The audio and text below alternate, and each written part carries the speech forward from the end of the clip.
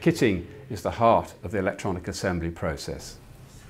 Every part that arrives, we have to check against the bill of materials to check that we have ordered the right part and that supplier has delivered the right part.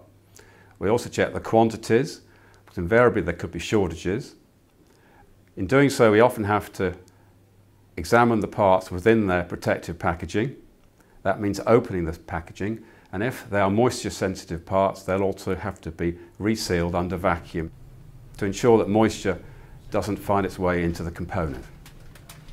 Here we're vacuum resealing moisture resistant bags to exclude air and reseal them against uh, the ingress of humidity. Once we're satisfied that the components received are correct, we'll print out a bar-coded label to apply to the component pack. These are our stocks of resistors and capacitors. All these reels are used on the shop floor on the SMD placement machines and we supply them free of charge to clients.